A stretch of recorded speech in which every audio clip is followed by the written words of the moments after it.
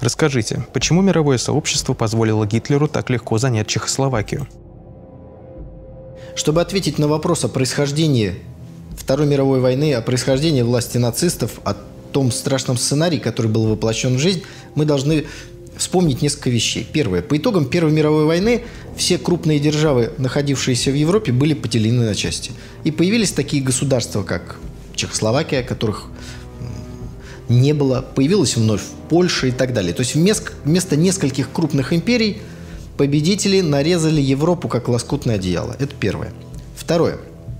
Германия была абсолютно разоружена. 100-тысячный рейхсвер, отсутствие тяжелого вооружения, флота, танков, ничего у немцев не было. Вопрос, как можно было допустить, чтобы немцы все это построили? В любой момент можно было, согласно Версальскому договору, ввести войска на территорию Германии и прекратить все это безобразие. Ни англичане, ни французы этого не сделали.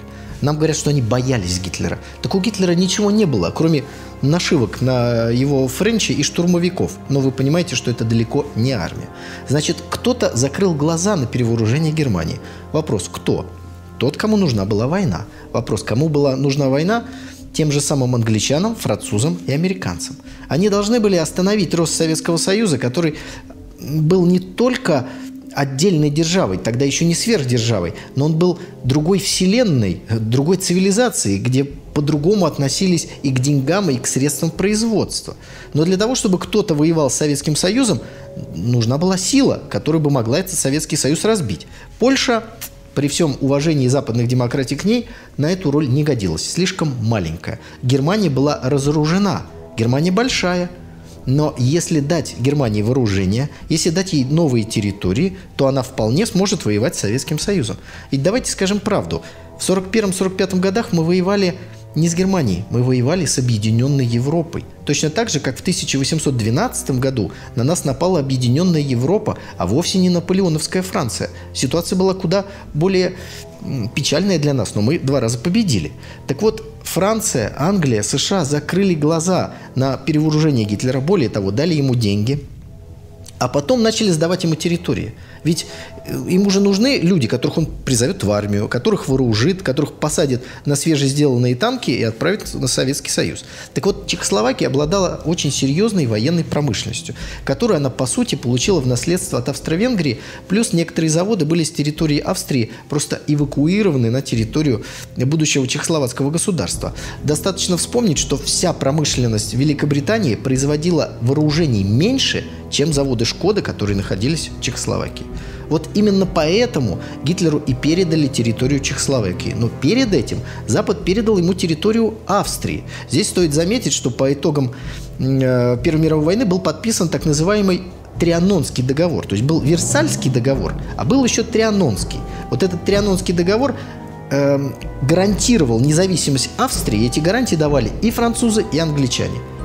Как мы знаем, Гитлер включил Австрию в территорию Третьего Рейха. И ни французы, ни англичане никаких протестов не высказали.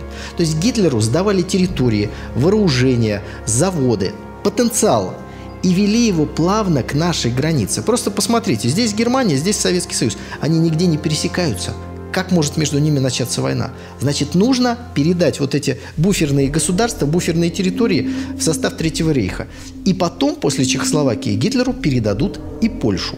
Ну, э, уничтожение Чехословакии было разыграно как по нотам. Была собрана так называемая Мюнхенская конференция, которая была собрана по инициативе Муссолини, и там четыре руководителя четырех государств. Напомню, это Великобритания, Франция, Италия и Гитлер – от Германии приняли решение, что Чехословакия должна передать ну, примерно процентов 40 своей территории Гитлеру. Чехословацкая армия по своим размерам и своим возможностям была сопоставима тогда с немецкой.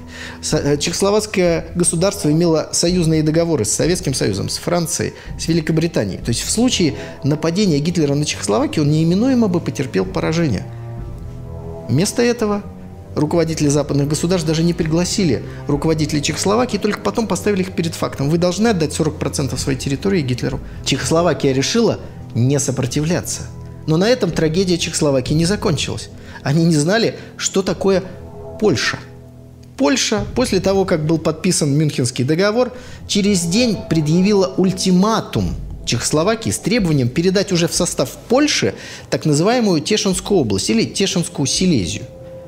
То есть поляки поступили ну, вдвойне подло – Чехи думали, что территориальный вопрос решен, на что Польша сказала, так вы же э, заключили договор с Германией, а с нами вы никаких договоров не имеете. Поэтому вы должны, обязаны в течение нескольких дней эвакуировать целую область, иначе начнется польско-чешская война.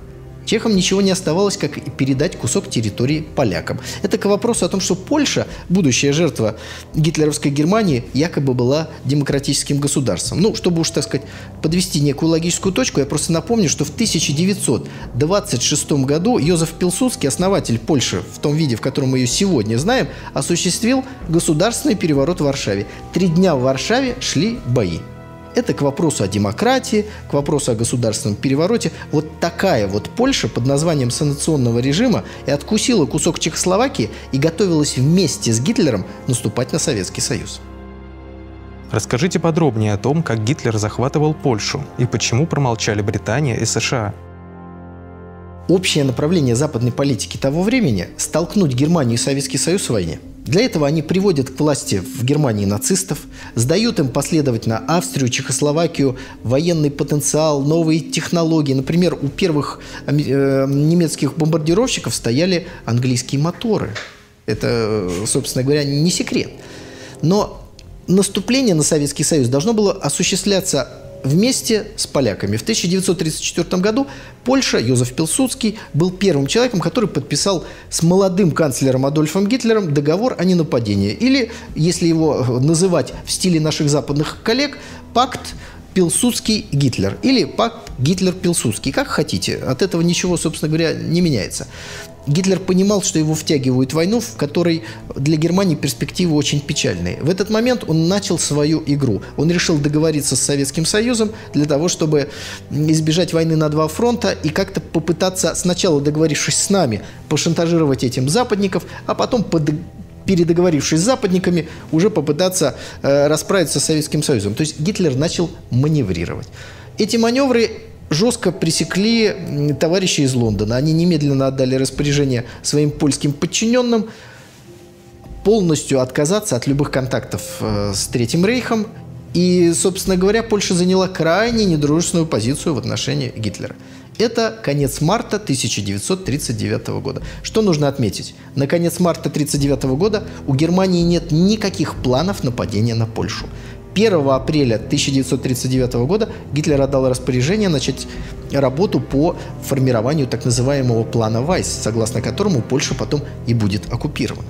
Тайна превращения Варшавы из союзника и соратника Гитлера по будущему нападению на Советский Союз в жертву гитлеровской агрессии лежит в переписке британских и французских дипломатов с поляками.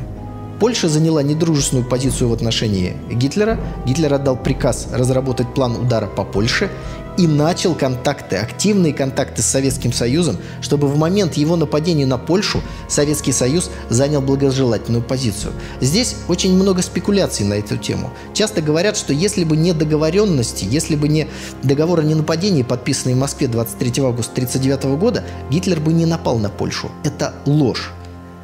Первый срок, а Гитлер менял сроки нападения на Польшу, так вот, первый срок этого нападения еще до каких-либо договоренностей и подписания договора с Советским Союзом был 25 августа 1939 года. И только подписав договор с Советским Союзом, через некоторое время Гитлер перенес этот срок на первое число.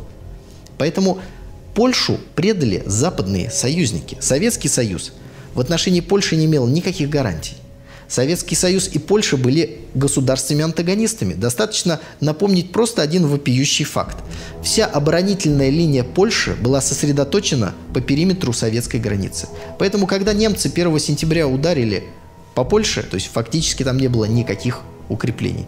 Ну и кроме того, оккупировав территорию Чехословакии – Гитлер получил возможность нанести удар еще, что называется, фланговый, где вообще не было никаких укреплений. Кстати, до сих пор многие польские историки ставят это вину чехословакам.